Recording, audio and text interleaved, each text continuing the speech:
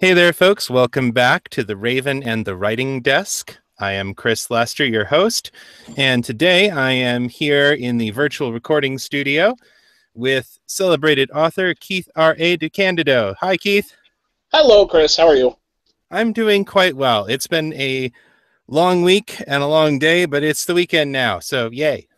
I'm a freelancer. Weekends are utterly meaningless to me. It's just another day. Indeed. So, I asked you to come on the show, Keith, because uh, I have been working on sort of investigating the different uh, corners of the world of writing and making a living as a writer. And I realized that there was this whole area of the creative uh, writing world that I basically knew nothing about how it worked, which is writing work for hire for other people's worlds. And since I know that that is something that you have done a lot of and have been very successful at, I figured you'd probably be the best person to ask about it. Well, I, it's certainly something I can speak to, having been doing it for uh, over 20 years now.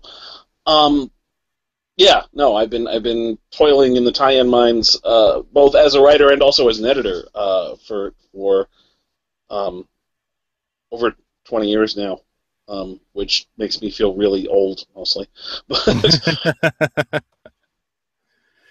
so, um, just for the benefit of our readers who do not understand, uh, or listeners rather, who don't understand what the difference is between a work for hire and a um, what would you call it? A traditionally published work. Um, can you outline what the differences and similarities are? Well, there, there, there's a couple different actual uh, different things we're talking about here. Work for hire just means that um, the person who writes the material is not the owner of it. Um, sometimes that can be a shared world thing. Sometimes it can be a case where um, one person comes up with a concept and then hires a writer to do it with them.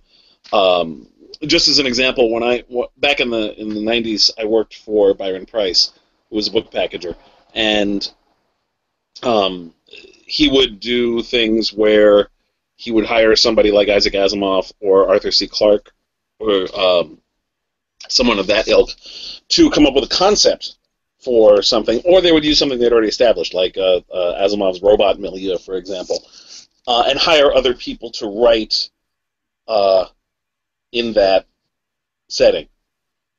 Um, so that that would constitute work for hire also.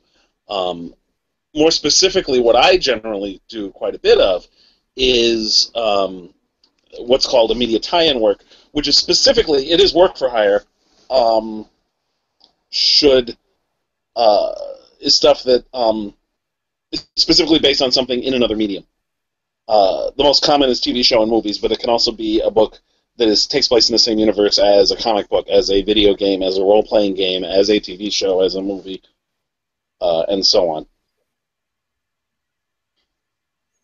And so the basic difference you you mentioned about people, you know, hiring other authors to write in a a shared universe and that's different from a traditional anthology because the author in a, in a traditional anthology as i understand it the authors still own the copyrights to their work and in a work for hire case that is not the case. Right. It it if it's a well depend it, it with a shared world case it it varies from uh, situation to situation um, as an example, I'm part of a shared world thing that Jonathan Maberry created called V Wars. That's actually not work for hire. I still own um, the story that I wrote for it, and I own the characters I created. Um, the difference is that you know if other people want to use the characters, they have there's sort of an, an agreement that that other people can use the characters because it also does take place in the same world. Um, that sounds similar to what's uh, going on now with the uh, the Secret World Chronicle podcast. I'm not familiar with that, but okay. okay. It's uh it's a shared world um superhero setting. Um I believe I'm not gonna to name drop, but there are some there are definitely people from the media tie-in world who are involved in it. Yeah, and and but basically uh uh tie-in work is specifically based on something from another medium, which is most of what I've done. I've done a little bit of shared world stuff that's uh, and other things like that. But work for hire in general is anything that um, the the writer does not own the rights to or the copyright to, um, and certainly all major tie-in work falls under that uh, category. What's the advantage of doing that kind of work um, when you know that you're not going to get any more royalties from it. I mean, I as I would I would guess that you get paid up front or you get paid on delivery and then you don't Okay, you, know, you have you have it. succumbed you have succumbed to one of the great fallacies of the Western world. Work for hire does not mean no royalties. It has never meant no royalties. Okay. Um, well, as I said, yeah. when I when we started this, I know nothing about this world, so that's why no, I'm asking. I have, this myth this myth has perpetuated for my entire 20 year career. Um, no, there is nothing. There is nothing in work for hire that that the two have nothing to do with each other. Work for hire just indicates who owns the rights to it. Compensation is different from one contract to another. There are some work for hire uh, deals where there is no royalty. Um, th- but that varies from case to case. You do have to share the royalties often. Um, ah. uh, as, as you know, the the for example, on uh, a Star Trek novel, um, to give a particularly prominent example that I've done a lot in, if you write a regular old novel that you own and keep with one of the big five publishing houses, um, you will generally get um, a royalty rate of about six to eight percent of basically any anytime a book is sold, six to eight percent of the cover price goes to you. Mm-hmm. Um, a lot of that has to you don't get right away because you have to first earn back the money they gave the upfront money they gave you, uh, which is you know referred to as an advance against royalties. But then after that, um, once once that is earned out, uh, the book is sold enough so that that money is made back. Then with each one sold, you get six eight percent. With uh, a tie-in, that percentage is generally lower. For example, for Star Trek fiction, it's generally about three percent. Um, I have done other deals. Uh, I did a Buffy the Vampire Slayer novel back in the. Uh, I actually did three Buffy the Vampire Slayer novels, and for that, the percentage was only one percent, um, because the money has to be split among. Uh, some of that money, the royalty money that would normally go to the author, has to go to the people who own it. Um, right. You know, CBS Paramount in the case of Star Trek, uh, 20th Century Fox in the case of Buffy, and so on. Um, now, there are work for hire deals that don't have royalties attached to them, yes, um, but that is not a hard and fast rule, and it is not a requirement. So. Okay. So yeah, in, fa- in fact, just to give one example, uh, I did a World of Warcraft novel um, nine years ago uh, called Cycle of Hatred, which I get a royalty check for every six months, like clockwork. Looks like it's 12th printing now. Um, the, the checks have gotten a little smaller as time has gone on, but that, that book has continued to sell, and I continue to make royalties off it. So it does happen. Um, the vast majority of my tie-in novels haven't earned out as it happens, but the, the capability exists that it will. So cool. So what's the advantage? Um, that was to get back to the way that this question started before I was woefully misinformed. um, why write media tie-in novels? It's fun, man. Um, there's a number of reasons. One is, um, I mean, the primary reason really is because, and, and the best, you, know, you ask any tie-in writer, they're generally fans of what they're doing in the first place. Uh, I started writing Star Trek novels because I've been a Star Trek fan since birth. Um, it's enjoyable to take char- these characters in these situations in this setting and put you, do your own spin on them. Um, so that's that's a primary motivating factor. Um, the money is usually good, not always, but uh, there's there's the, the idea when you're writing your own fiction, you write the novel and then you start shopping it around in the hopes that someone will buy it. Um, when you do a tie-in novel, you get the money up front before you start even writing the book. You you plotted it probably, but you haven't actually written it yet. So the idea of the guaranteed paycheck is useful. Um, that's only the case on a book by book basis. It's still, you know, a difficult way to make a living, as I've learned over the last 20 years. But, um, but the, the main reason, besides the fact that it is, you know, it is money for a book, which is which is something we all try to do is get paid for our work. It's also fun. Um, it's it's enjoyable, particularly if it's something you're a fan of or something you become a fan of. I, I have been and over my career approached to work in properties that I was not familiar with initially, but I you know learned about it as included the World of Warcraft one I just mentioned is one, um, where I, I was completely unfamiliar with the property to start. Um, but once I dove into it and started doing my research and learning about it and, and such, became a fan. Um, so uh, that that it, it's also a way of introducing you to things you may not have been familiar with, and also to work in in universes that you are a fan of. Um, I was I, most of the stuff I've worked in is, is stuff I either came to like or far more commonly stuff I was already fond of in the first place. So. How did you get started doing this? Uh, backwards, kind of, as an editor initially. I, uh, as I mentioned, I worked for Byron Preiss, and uh, Byron did a lot of work for hire and shared world and media tie-in projects, and I worked on them as an editor. Um, the the most prominent project I worked on for Byron, we actually did a series of about 54 novels and short story anthologies that were published between 1994 and 2000. Uh, with Marvel, they were based on Marvel Comics superheroes. Um, naturally it ended in 2000 right when x-men came out so of course of course. yeah right it was like the worst possible timing. It's like just when the movies hit was when the, the line came to an end. Mind you the books did really well. Um, they were it was a really uh, i'm as an editor i'm extremely proud of that series. And um, uh, but i i was the editor on that and because I was an editor, it gave me the for one thing. I wrote for the line itself. Um, I did a couple of short stories here and there. I wrote one novel.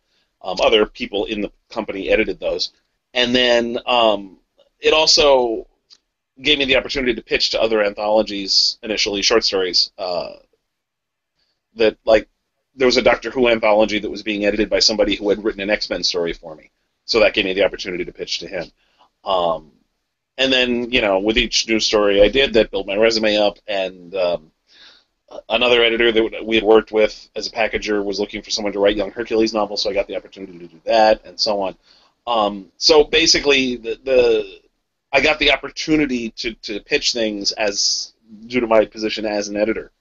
So it's not really a very replicable method of breaking in, unfortunately. um, but that's true of most. I mean, you ask any ten writers how they broke in, you get twelve different answers. You know. So I guess that leads to my my next question: is if somebody is a writer who's interested in doing media tie-in work, how do you find out about these kinds of projects? Are there like calls for submissions? Is it something where you you work through an agent? How does it work? Usually um, uh, it's it's word of mouth. It, it's best to be established as a writer already. Um, uh, there are occasionally things like, for example, um, Simon and Schuster did the Strange New Worlds contest, which I understand they, they might be reviving, um, which was specifically open to amateur writers, and that led. Uh, there's a bunch of people whose whose writing career, both writing Star Trek fiction and just writing original fiction, got started through Strange New Worlds. Uh, that's an exceptional case, though. Usually, uh, tie-in editors are going to go for people who already have experience. Um, partly because when you're doing a tie-in project, you want somebody who already knows what they're doing. Because there's enough other stuff editors have to deal with when doing tie-in fiction, including you know working with the licensor and getting approvals and such. That walking a newbie through the process is one additional piece of work they don't really need. So they'd rather go with somebody who's already established that they can write a novel, that they can hit a deadline, um, tie-in work is also way more deadline oriented generally than uh, original fiction. You know, if if if I'm late with an original novel, it just means they shuffle the schedule a little bit and push it back. If I'm late with my movie tie-in novel, uh, we've lost our window for publication, and the, the editor's not likely to hire me again. So they want they want people who are already often editors want people who are already established precisely because they know they can count on them to deliver the book on time. Is that why you tend to see the same authors popping up in media tie-ins for all different kinds of worlds?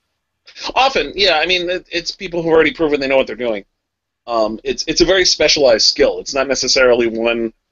I mean, it doesn't. Uh, being able to write tie-ins well doesn't make me or Greg Cox or Max Allan Collins or David Mack or Una McCormack or or I mean, you know, any of the other people who, who do it regularly, uh, it doesn't make us better writers or worse writers.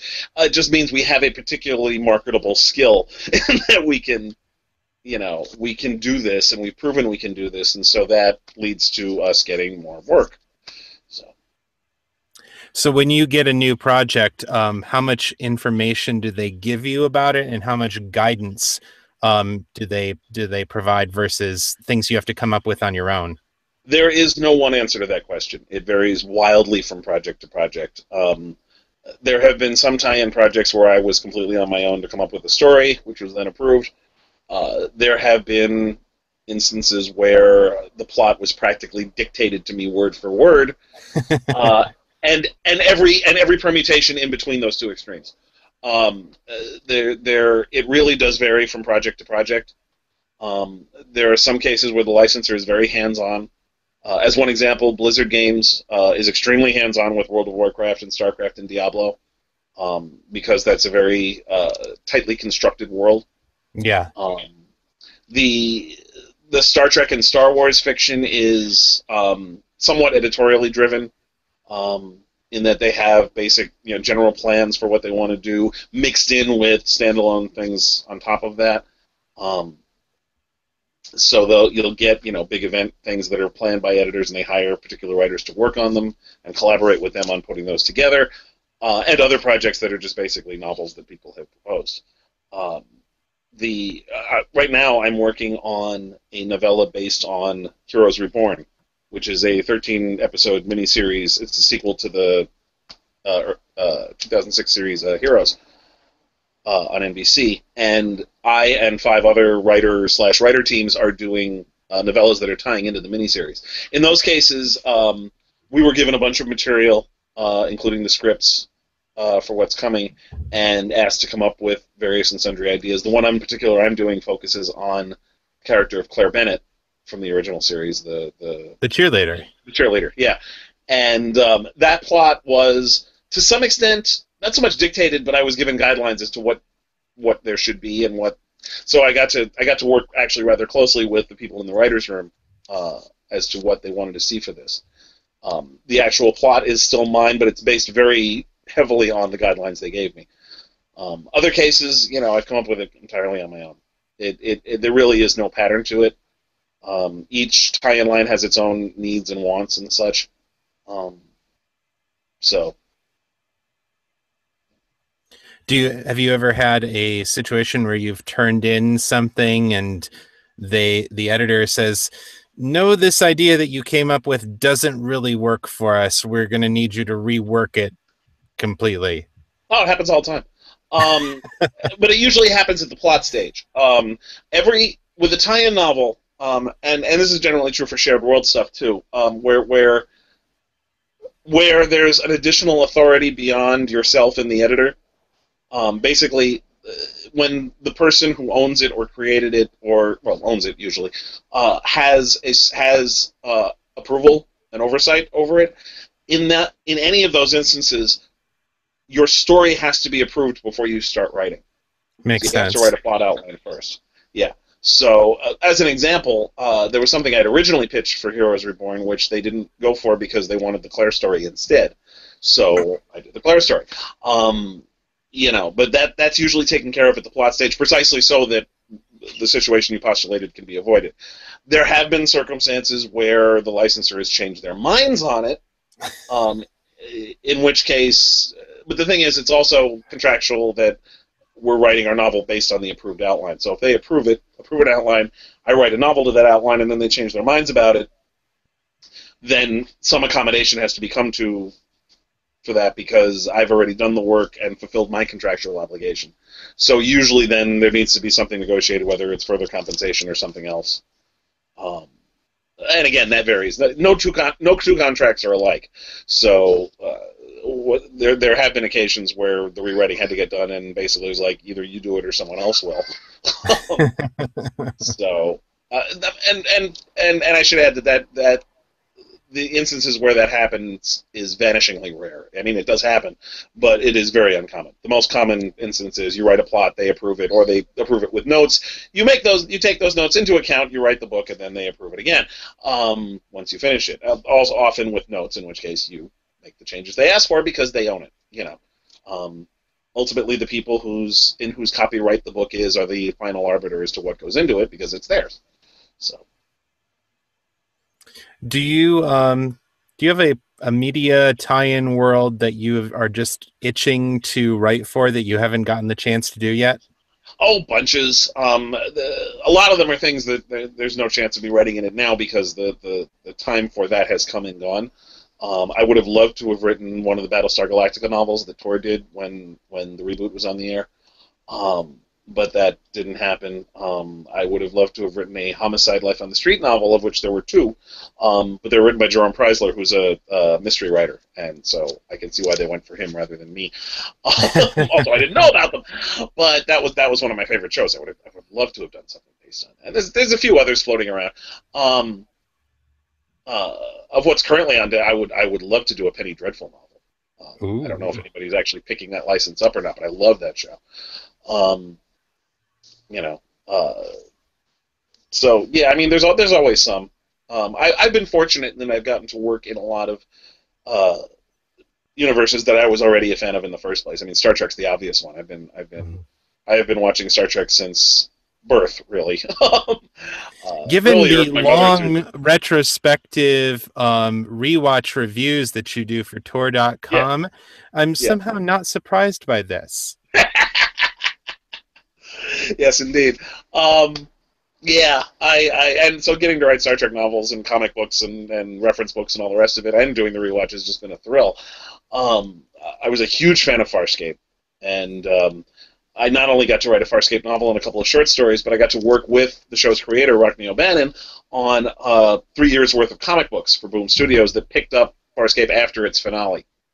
Um, we basically did the unofficial, well, official really, season five of the show which was oh, great. Nice. That was one of the that was one of the best experiences of my writing career. Just being able to work with Rockne um, uh, on those stories uh, and to continue and to be the official continuation of Farscape uh, moving forward was was fantastic. You know, um, I love that.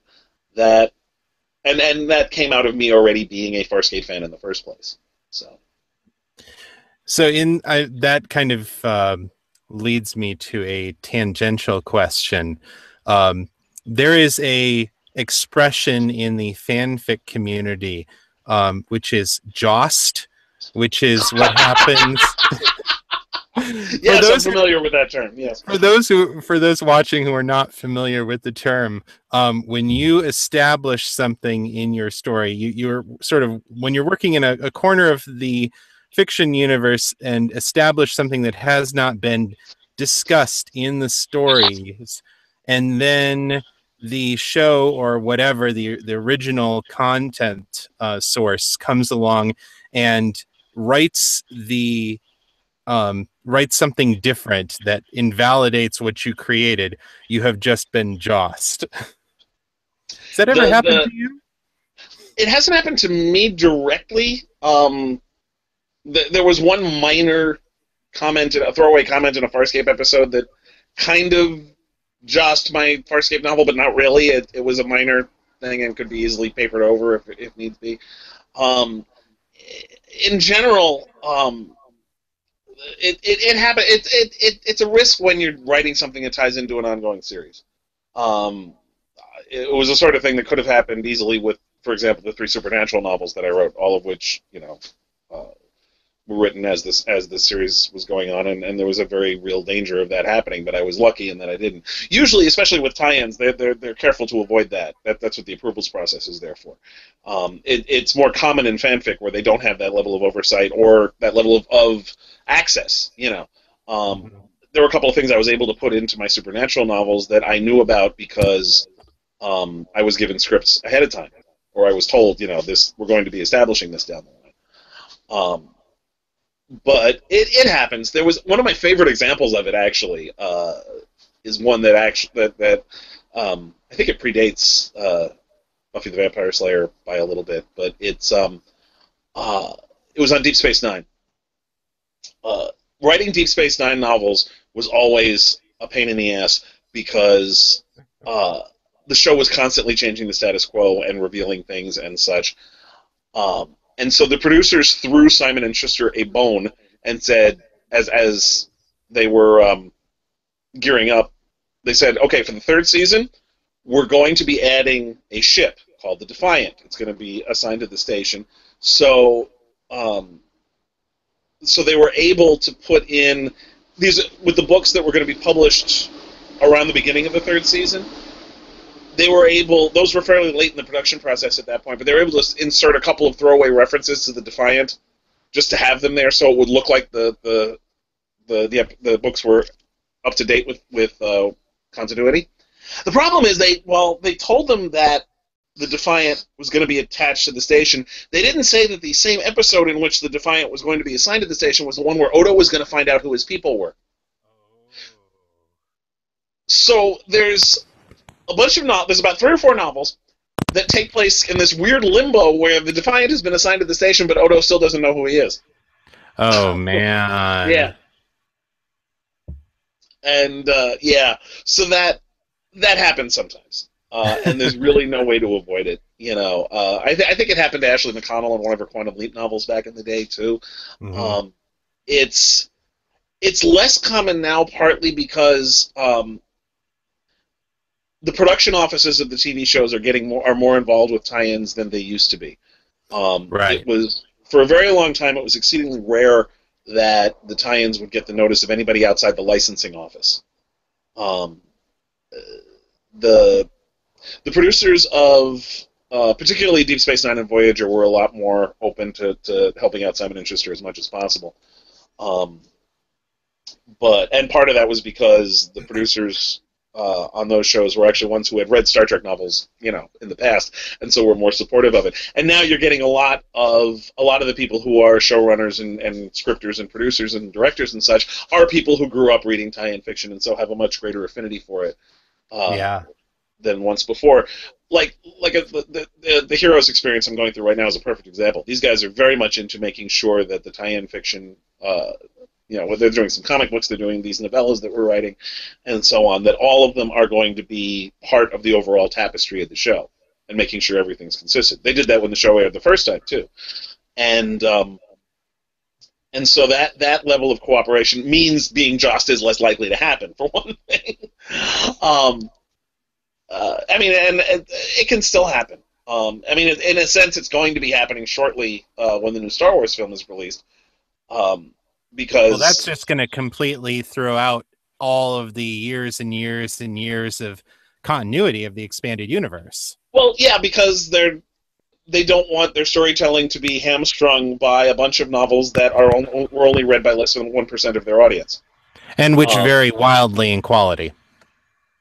Well, that's that's neither here nor there as far as they're concerned. I mean, the the the, the tie-in fiction, like I said, the, the the, the numbers are such that the tie-in fiction really only reach it reaches of any tie-in fiction reaches less than ten percent of the audience of the thing it's tying into.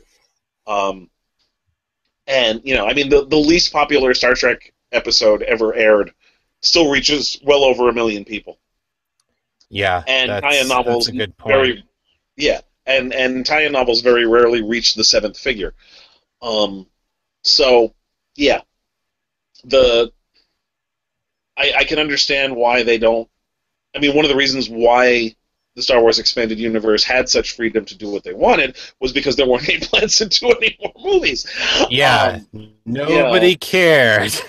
yeah, um, I mean, the same thing happened with Doctor Who fiction when when Doctor Who went off the air. Um, in in the uh, in the late in 1989, Virgin Publishing was given free reign to do whatever the hell they wanted because there wasn't any new Doctor Who. Then, of course, you know, 2005 comes along and now there is, and so a lot of the stuff they established was invalidated to some extent. Although with Doctor Who continuity is a fluid thing anyway. Um, exactly, wibbly yeah. wobbly, timey wimey. Yeah.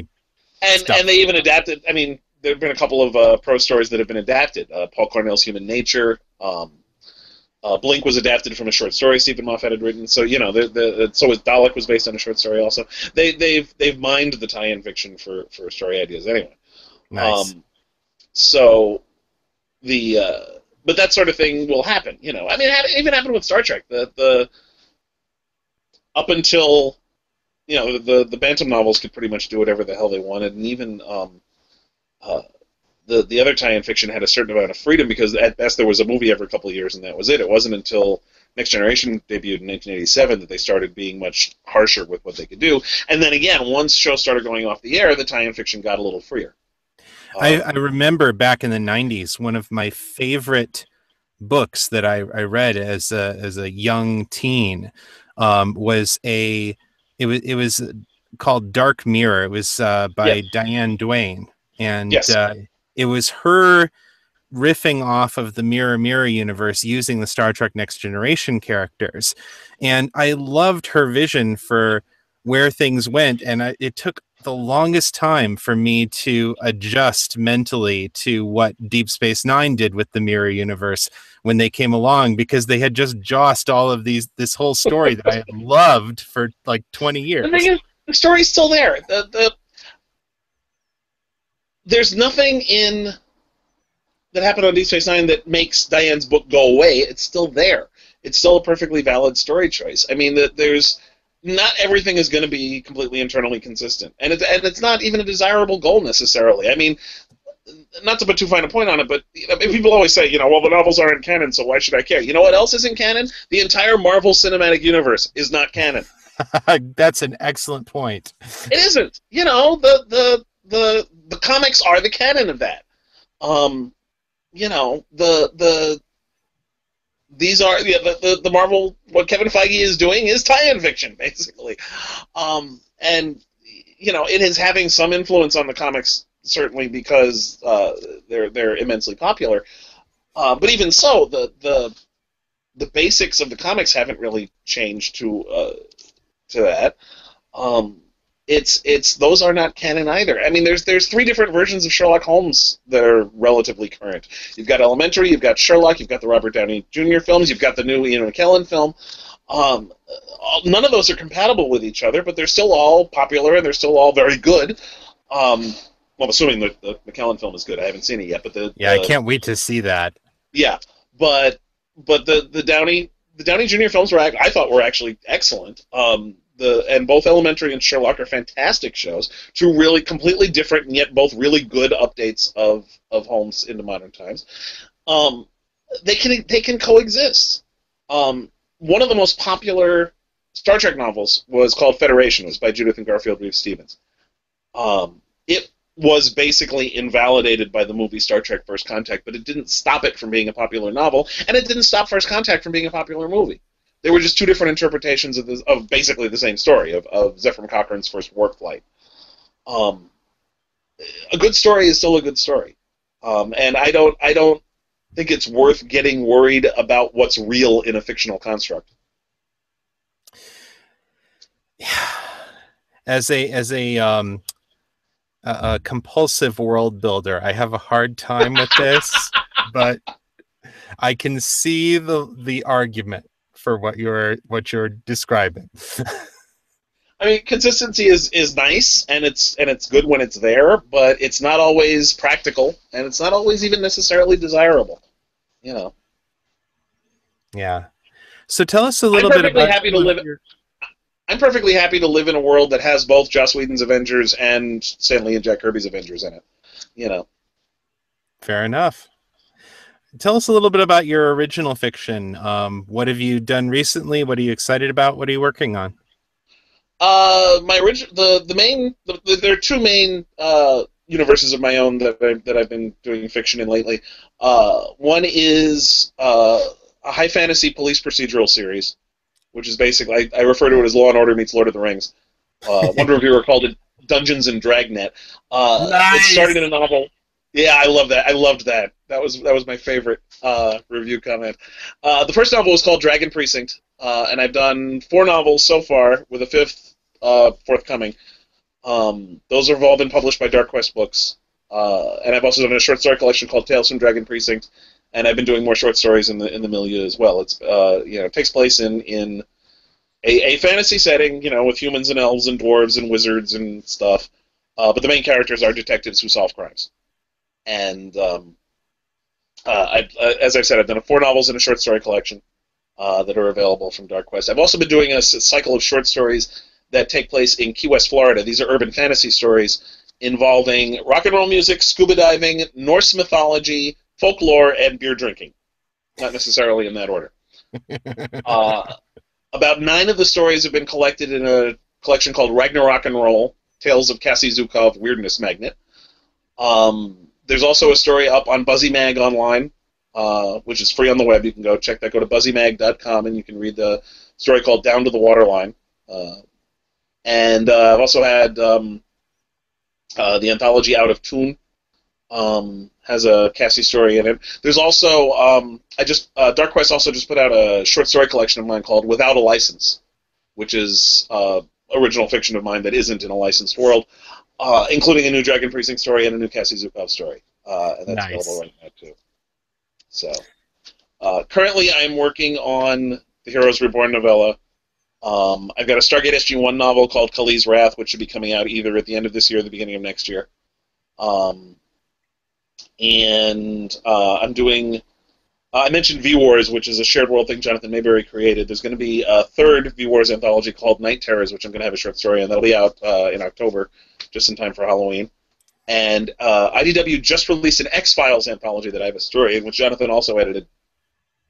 Uh, it's called Trust No One, and uh, has a bunch of new X Files story by, by X Files stories by a bunch of different people, including me. Um, the the title of that one is called "Back in El Paso, My Life Will Be Worthless." And say that um, again. Back, it's a song lyric. Uh, "Back in El Paso, my life would will be worthless." Gotcha. Um, it takes place in El Paso, which is why I use that title. Um, uh, what I wanted to do was a story where the point of view character is a normal FBI agent who has to work with Mulder and Scully. Oh God. Yeah, basically, I just wanted to get into get into the heads of what what do the what do the other federal agents? How do they view Mulder and Scully? How do they you know how do they interact with them? Um, that is a great question. yeah, you know, um, I thought that would be a fun thing to do, uh, and uh, so you know I did that, and those those are all coming out later this year.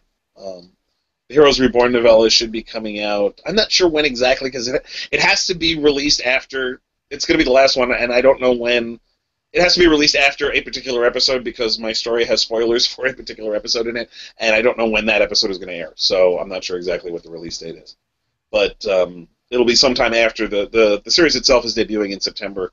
The novellas are going to be released. Uh, there are going to be six of them, and mine is actually the last of them.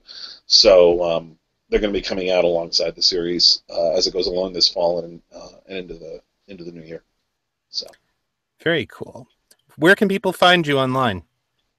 Uh, they can go to decandido.net, which is a horribly out of date uh, website. Um, I, I, refer to it as, as cheerfully retro um, because I haven't really changed the design since 1996. Um, wow. I really need to work on that. Um, but it's mostly just mostly it's just basically a, a, a link source. You can you can uh, order my books from there, and it links to my Facebook page, my blog, my Twitter feed um, to the various podcasts that I'm involved with, including the Chronic Rift podcast. Uh, it links to the to the rewatches I've been doing on Tor.com and uh, and so on. Uh, awesome. And in fact, you can find me on Tor.com twice a week, generally. Uh, on Tuesdays, I'm doing a Star Trek original series rewatch. On Fridays, I'm doing a Star a Stargate uh, seasonal rewatch. Um, I'm not doing individual episodes. I'm just covering each each season and each movie as its own entry. Um, and uh, in the past, and I've also got archived the Star Trek: The Next Generation and Deep Space Nine re-watches that I did for them. And having uh, read through a lot of the Deep Space Nine uh, re-watches and about half of the Next Generation re-watches, um, if you're a fan of these shows, folks, um, go back and read these um, re-watches. You'll fall in love with the series all over again. Well, thank you. Well, thank you so much for your time, Keith, and uh, thanks for coming on Raven and the Writing Desk. My pleasure, Chris. Thanks for having me. All right. And